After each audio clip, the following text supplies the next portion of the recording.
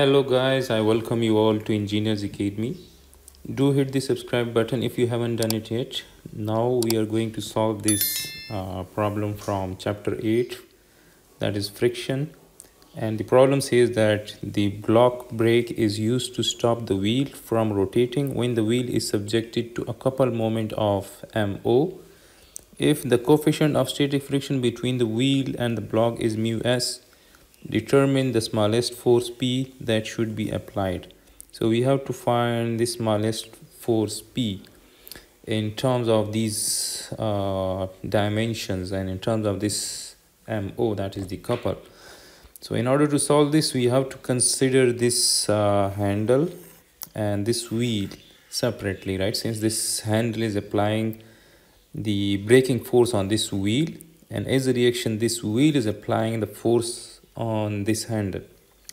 So in order to stop this wheel uh, the stopping force need to be in this direction since the wheel is rotating in the counterclockwise direction. So we have to apply the force the friction force in the opposite direction. So let me show that here we will have the friction force which is going to act towards the right.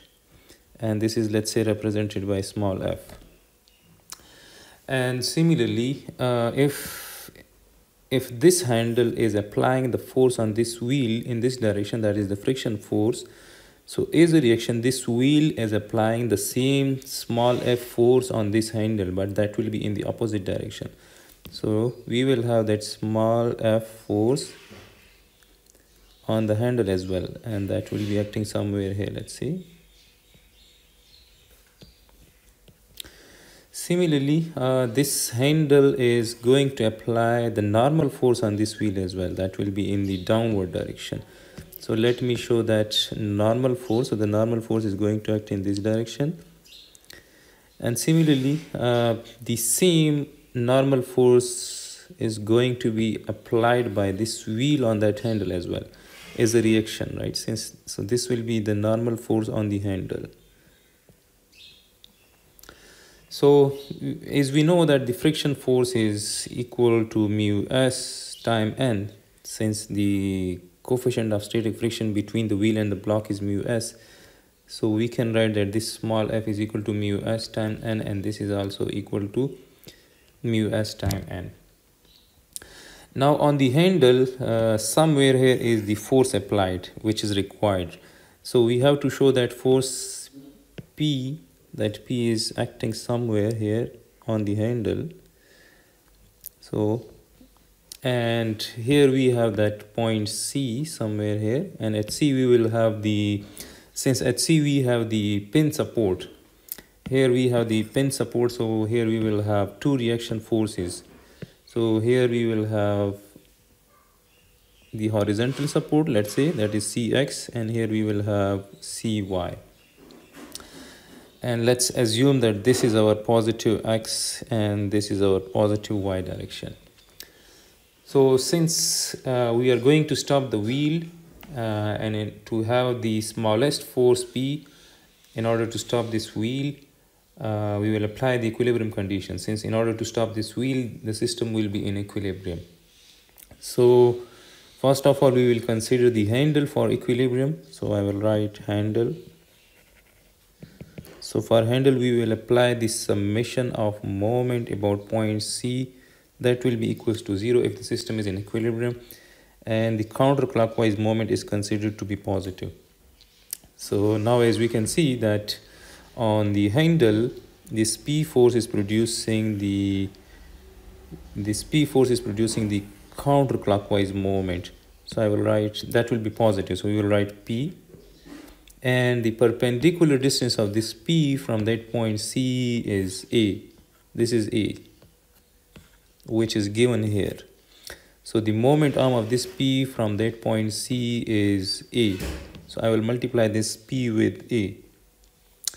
Similarly, this uh, friction force, this small f is producing uh, the moment about that point C in the clockwise direction. So we will write minus and small f is mu s times n and the perpendicular distance between the friction force and point C is this small c.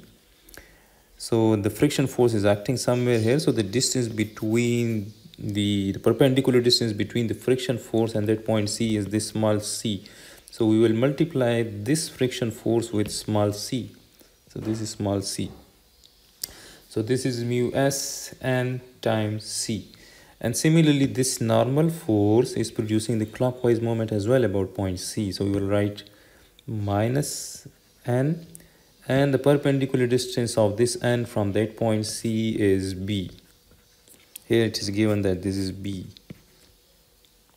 So we will multiply this n with small b and this will be equals to 0.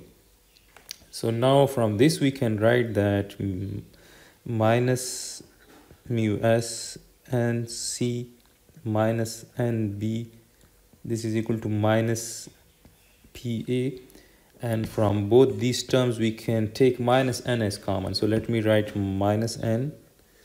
So we will have we will remove this minus this minus. And here this will become positive so if we take minus n common so this minus n so mu sc and plus b. And we have this pa on the other side with the negative sign. So now the negative sign will cancel out. So and if we divide both sides of equation by mu sc plus b mu sc plus b so we will have this will cancel out and we will have n equals to pa let me write it is p plus, uh, b plus mu sc so now this will be the normal force and it will depend on the applied force. Now again for, we have to find this force p uh, which will be the smallest force v in order to stop this wheel. So for that we have to consider the wheel as well. And again for wheel we have to apply the summation of moment about point o. That will be equals to zero and the counterclockwise moment is positive. So since this mo is couple so a couple is a free vector we can write it directly. So mo is acting in the counterclockwise direction so we will write plus mo and this friction force is producing the clockwise moment so i will write minus. minus and the friction force is mu s times n and the moment arm of this friction force about this point O is this radius of the wheel. So we will multiply this with R and this will be equal to 0 since the line of action of this N is passing to that point O. So the perpendicular distance of this normal force from that point O is 0 so it's not going to produce the moment about that point O. So now from this equation we can write that minus mu s n into r is equal to mo and from this we can write that uh, this will become minus and minus will cancel out so from this we can write that n uh, is equal to if we divide both side of equation by mu s into r so that will be mo divided by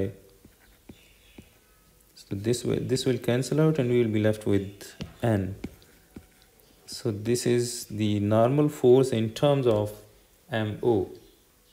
So now we know that N is equal to this. So we can replace N with PA divided by B plus mu SC uh, which will be equal to MO divided by mu SR. And since we want to have that P, so for P we need to cross multiply this and this a.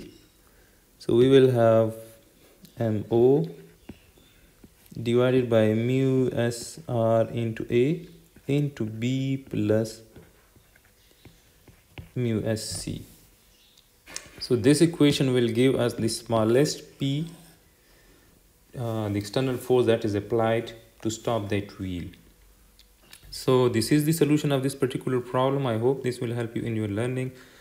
Do subscribe Engineers Academy for the solution of such more problems from Hibbeler Statics.